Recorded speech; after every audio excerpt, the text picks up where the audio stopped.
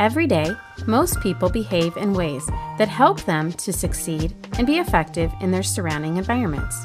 Many of the behaviors we exhibit conform to rules that we learn from a variety of sources and situations.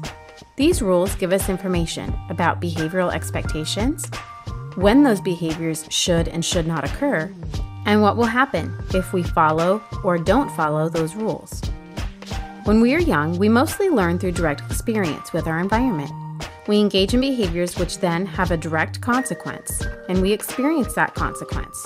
It is through these experiences that our behavior is shaped. After time, most of us learn to change our behavior according to rules we learn, whether in school, from family or friends, or through work. Our behavior change and learning becomes more efficient because we can learn from rules that help us succeed instead of having to learn everything on a trial and error basis. Many people with autism spectrum disorder do not possess the ability to follow rules effectively. This can greatly limit their ability to be successful in various natural settings.